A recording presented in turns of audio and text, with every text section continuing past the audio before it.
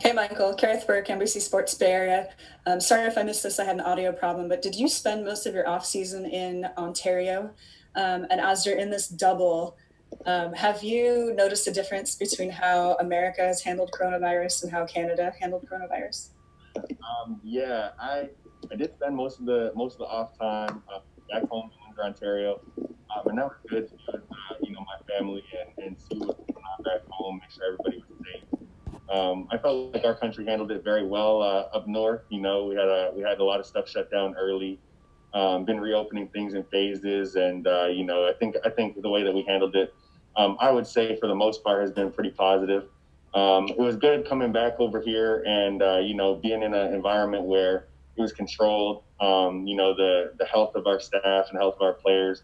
Um, you could tell that that was really at the forefront. So that was something that we all really appreciated appreciated out of the organization. And uh, moving forward, obviously, that's going to be our priority as well.